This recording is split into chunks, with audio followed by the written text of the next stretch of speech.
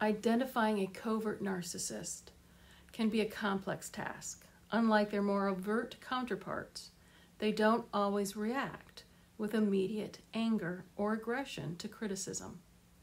In fact, this is often where the challenge lies, and here's why. A covert narcissist may initially appear receptive to feedback, especially if it's delivered in a kind and constructive manner.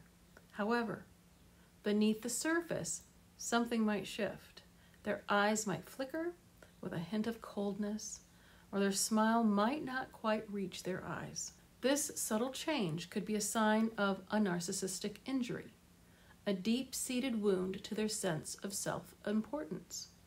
But the covert narcissist is a master of disguise. Don't expect a dramatic outburst. Instead, they'll likely employ more subtle tactics. They become passive aggressive, subtly undermining your confidence, or twisting the situation to make you question your own judgment. They may use manipulative language or gaslighting techniques to make you doubt your own perception, and then you apologize for your feedback. Remember, covert narcissists are adept to hiding their true selves. Their deceptive tactics can be emotionally draining, leaving you questioning your own reality. Trust your gut instincts.